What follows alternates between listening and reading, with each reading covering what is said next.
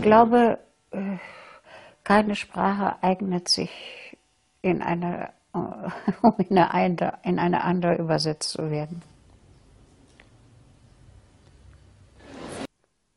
Also was am häufigsten vorkommt. Also ich glaube, am häufigsten bei Dostoevsky wird gegangen und gesprochen. Wobei, also der fünfte Stock, also, also zumindest der dritte Stock und die Treppe und der Turm und der, Ab, der Rand eines Abgrunds eine ganz große Rolle bei Dostoevsky spielen. Aber es wird gegangen, es wird eigentlich, äh, es wird geflogen. Er braucht das, um zu fliegen, um abzuspringen. Ein Gefühl. Oder dass so eine die Höhe hat auf ihn einen Sog und so. Das hängt aber mit den Charakteren dann zusammen. Nee. 1796 äh, Novalis in dem Brief an äh, Schlegel anlässlich der Hamlet-Übersetzung. Am Ende ist aller Poesie Übersetzung. Und wenn man unter Poesie Kunst versteht, wie Schlegel das verstanden hat, dann muss man sagen, am Ende ist jede Kunst Übersetzung. Denn die Musik oder die Sklaven von Michelangelo, das sind alles Übersetzungen. Der Fluch dieses Geschäfts ist, dass der Leser niemals mit dem Text Auge ins Auge ist. Also ich bin immer dazwischen. Und ich bin 23 geboren, bin unter bestimmten Bedingungen aufgewachsen, finde bestimmte Dinge schön und andere Dinge nicht schön. Und das fließt in, natürlich in die Übersetzung mit hinein. Äh, Verbrechen und Strafe fängt an mit einer sehr typischen Gäste. Ein Mensch geht die Treppe herunter und tritt auf die Straße. Und das ist ein sehr langer Satz.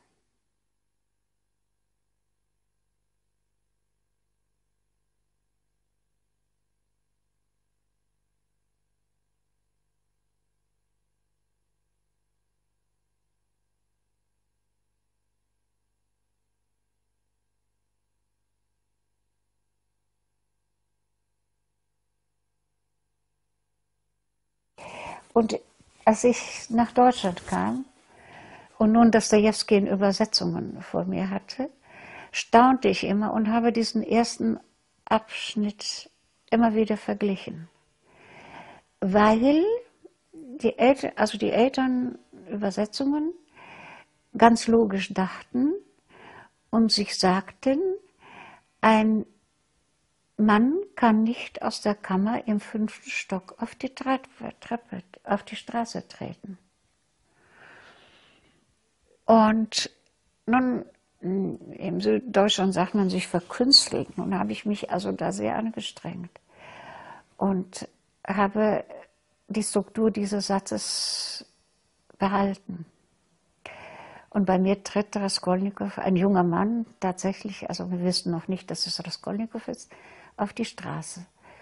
Und eines Tages, da waren also schon, weiß nicht, äh, da war schon der Idiot, glaube ich, da oder was, da hatte ich einen, einen Kurs in Aachen und habe diesen ersten Satz äh, gebracht und plötzlich meldet sich einer der Teilnehmer und sagt, aber das ist doch die Treppe, der ganze Satz ist die Treppe. Und tatsächlich, dieser Satz geht runter bis auf die Straße und das ist eine Serie von Stufen. Ich wusste das selber nicht. Aber es stimmt. Und da ist eben, äh, das ist die große Versuchung für den Übersetzer, deutlicher zu werden, als der Autor ist. Und das darf nicht sein. Übersetzen ist an sich ein Verlust. Wenn man den Kopf verloren hat, braucht man der Mütze nicht mehr nachweinen. Verstehen Sie, es ist, es geht, übersetzen geht es nicht. Die, und eine, keine Übersetzung ist ein Doppelgänger des Originals. Und das ist das Weh und das Glück eines Übersetzers. So ist es. Ich, man kann kein, äh, keinen Doppelgänger äh, schaffen in einer anderen Sprache. Das, das ist unmöglich. Und ich sage ja, aber wenn man das weiß und der Kopf sozusagen ab ist, dann kann man an den einzelnen Worten nicht mehr trauern. Sonst kann man das überhaupt gar nicht machen. Und an den Bruder Karamasow jetzt habe ich mir etwas äh, unglaublich Freches äh, geleistet. Ich konnte ja nun den Titel nicht ändern. Also ich ändere ja so gerne Titel. Ich konnte den Titel nicht ändern. Aber da gibt es ein Buch und dieses Buch überschrieben mit einem Wort Nadrüve. Und ich habe seit 20 Jahren darüber nachgedacht und habe in der Akademie der Wissenschaften, wo war ich eingeladen und habe darüber gesprochen und in einem internationalen Dostoevsky-Kongress in äh, Amsterdam. Und ich habe diesen Neologismus eingeführt. Er steht drin, Nadrüv. Das ist das, die bewusste Selbstzerstörung als, die, als eine Möglichkeit der Freiheit.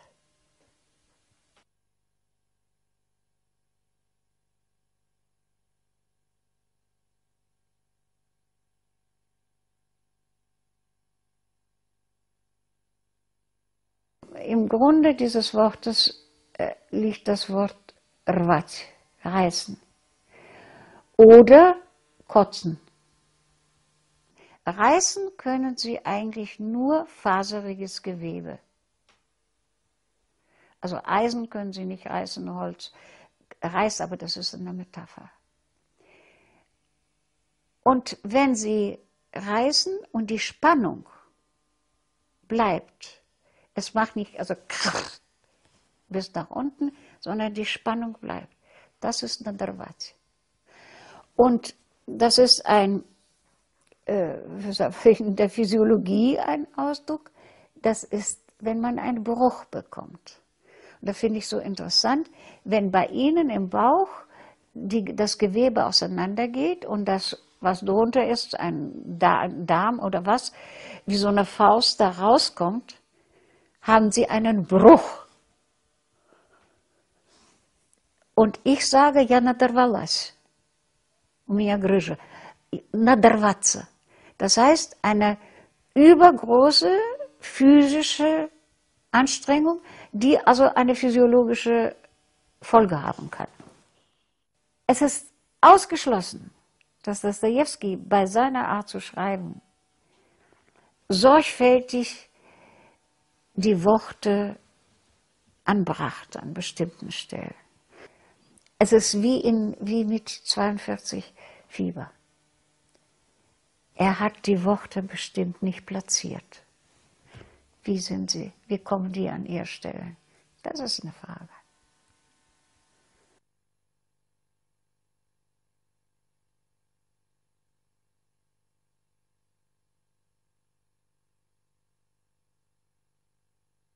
Ich muss verstehen.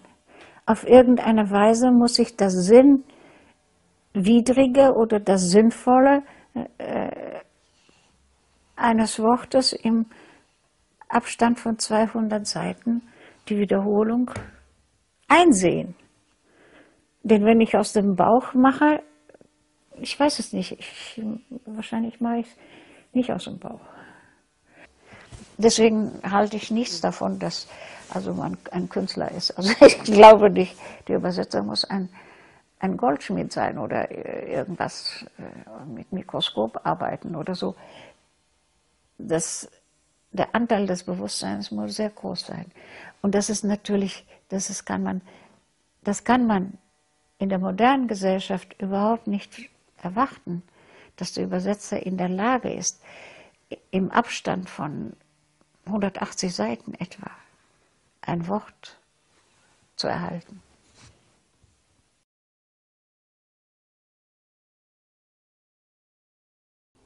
Ich weiß es nicht. Also was weiß ich, ich, ich habe blaue Augen.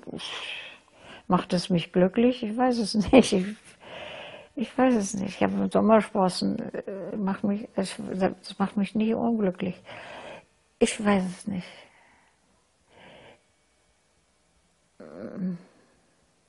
Also ich kann jedenfalls ohne nicht.